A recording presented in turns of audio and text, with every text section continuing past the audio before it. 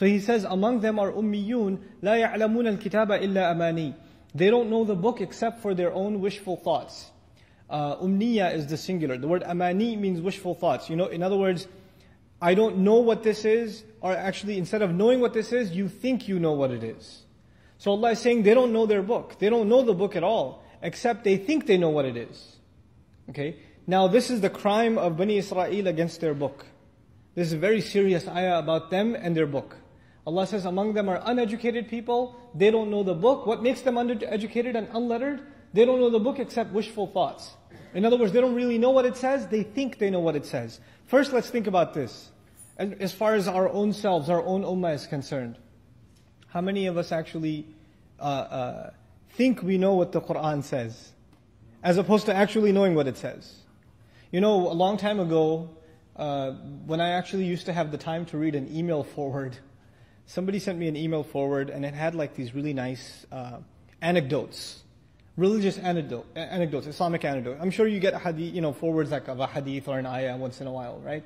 An email. So I get this uh, um, this email and it says, you know, if you if you wake up for Fajr, then there will be light on your face for the entire day. And if you pray Dhuhr in the masjid, then your, there will be blessings in your sustenance. And if you pray Asr, this, this will happen. And Maghrib, this, this will happen. Isha, this, this will happen. Jum'ah, this, this will happen. And at the end of it all, at the bottom, it says wisdom from the Holy Quran.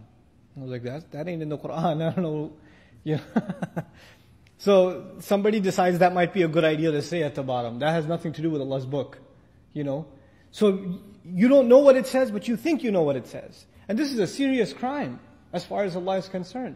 Now, Allah says, وَإِنْهُمْ إِلَّا يَظُنُّونَ They do nothing but make assumptions. What this is teaching us is, this ummah better not make assumptions about Allah's book. You and I better not make assumptions about what Allah makes, what, what makes Allah happy and what makes Allah angry.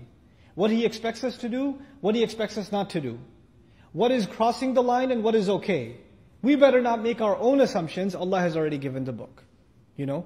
A lot of times even in casual Muslim conversations, Muslims can say things like, oh, so where in the Quran does it say I can't do this?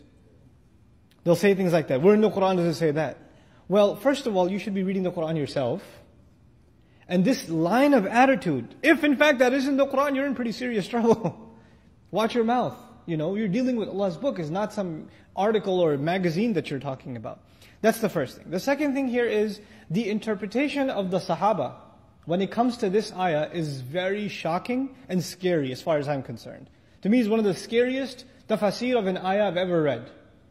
When Ibn Abbas radiallahu ta'ala anhu was explaining this ayah, the central crime that the Israelites have committed with their book is with the word amani. In other words, they don't know their book. Allah says, لا يعلمون الكتاب. They don't know the book except for their own or, or, or wishful thoughts, assumptions. He was explaining this word, assumptions, these wishful thoughts. What does it mean? He says, أماني أي تلاوة يعلمونه حفظا وقراءة بلا فهم لا يدرون ما فيها. He says, amani in this ayah means tilawa. I think even the Urdu speakers in the audience here know tilawat. What does tilawat mean? Recitation. Following. Tilawa literally in Arabic means to, to follow along. Meaning your eyes are following along the text. Your fingers following along. This is tala right? So to, to just recite it. Then he says, you know, this amani means all they do is recite. يَعْلَمُونَهُ حِفْظًا وَقِرَاءَةً بِلَا فَهْمٍ They know it only by memorizing it and by reciting it without understanding it.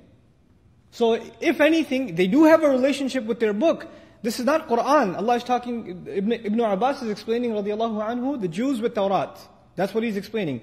But he's saying their relationship with their book is only three things. They recite it, they read it a little bit and then they memorize some part of it. That's it. Bila fahm, without any understanding. La yadruna ma fiha.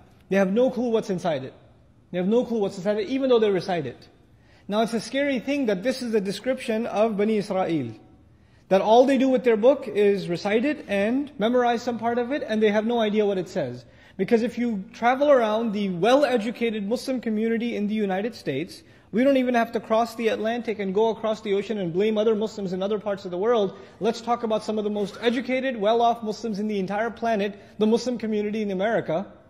And you go around and you'll find people that have amazing educational credentials, you know, from a, a, bachelor's or a master's degree in like accounting or physics or this or that or the other. And sometimes we even know languages that aren't even human, like C++. Right? We, we even know. and you can read those and tell where there's a syntax missing and a comma and you can spot the problem, right? But yet, when it comes to the language of Allah's book and understanding what Allah's book says, the vast majority of the Muslim community can be described as people who read the book, maybe even memorize some part of the book, but the vast majority of them have no idea what it says. You know? This is Allah describing Bani Israel. And look whose description fits. It's a scary thought. You know, لا يعلمون الكتاب إلا أماني وإنهم إلا يظنون. And they do nothing but make assumptions. They make assumptions that that's okay. They make assumptions. I don't have to know what this book says. They make assumptions. I already know. I got the gist of it. Akhirah, I got it. Yeah, he's a messenger. Yeah, and it's a good book. Yeah, I got it. You know, and I can't eat pork. Got that too. So you're, you're okay. You don't need to know anymore, right? Subhanallah. Allah sent this book as a mercy and as guidance for humanity, and the people who got it have no time to read it. The people who actually believe that this is from Allah are the people who don't give it any time. What a crazy situation we live in.